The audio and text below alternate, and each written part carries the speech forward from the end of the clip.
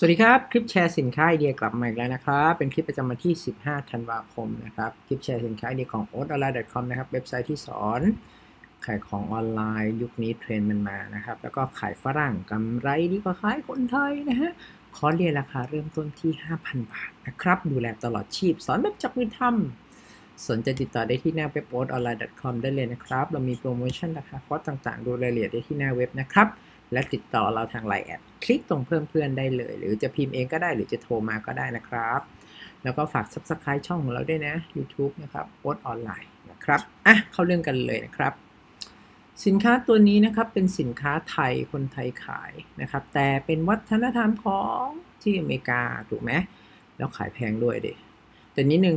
ในการราคาที่มันเป็นเจอสีเขียวขีดค่านะครับแต่ว่าให้ลูกค้าต่อราคาได้นะครับ ชิ้นนี้ขายได้เมื่อ 13 พฤศจิเดือนที่แล้วนะเขาตั้งราคาที่ 4,600 นะครับ แล้วก็ให้ลูกค้าต่อ ผมคาดว่าราคาน่าจะบวกลบอยู่ 4,000 นะ ซึ่งถามว่าขายได้ราคาดีมากเลยนะ เป็นจิวเป็นงานจิวเวลรี่ของไทยนะครับ แต่กำไรดีเนาะ เนี่ย อะไรที่แบบเพื่อนๆ ลองดูนะ หาสินค้าที่มันเกี่ยวกับวัฒนธรรมนะฮะมาขายดู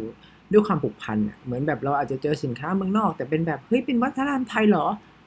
มันมันมันผมว่าสำหรับนักสะสมเนี่ยเป็นเป็นอะไรที่มันน่าเก็บนะครับ ซึ่งวัฒนธรรมอเมริกาเนี่ยผมว่ายังไม่ตื่นเต้นเท่าวัฒนธรรมไทยนะถ้าเกิดเราไปเจออะไรเมืองนอกที่แบบเออฝรั่งทำแต่เป็นงานไทยอย่างเงี้ยผมว่าหลาย ๆ คนตื่นเต้น แล้วคนที่มีกระตังก็อาจจะชอบบิดอยากบิดอะไรเงี้ยนะครับนี่ขนาดของอเมริกันชนนะครับเขายังซื้อตั้งประมาณ 4,000 เลยนะถือว่าน่าสนใจพอสมควรนะครับ แล้วก็